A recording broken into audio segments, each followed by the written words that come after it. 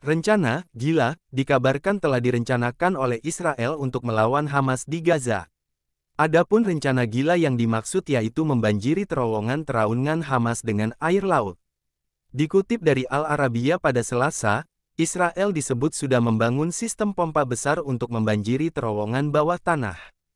Cara ini ditempuh Israel hanya demi membuat pasukan Hamas keluar dari persembunyian.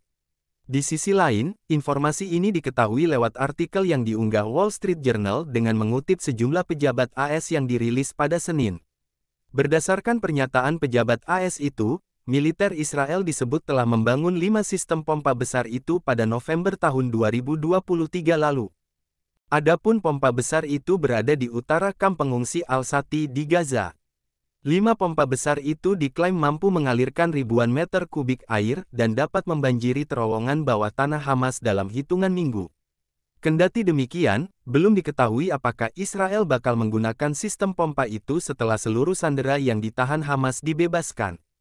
Hal itu lantaran ada isu bahwa Hamas menyembunyikan par sandera di terowongan yang aman.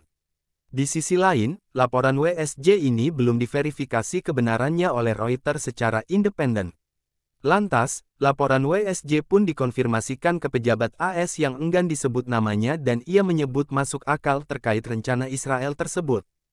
Bahkan, Israel tengah menjajaki berbagai cara untuk melakukan hal tersebut. Laporan WSJ ini pun juga belum ditanggapi secara resmi oleh Kementerian Pertahanan Israel.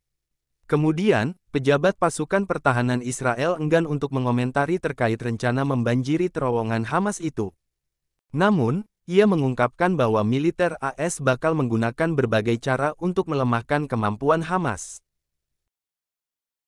Download Tribun X sekarang, menghadirkan lokal menjadi Indonesia.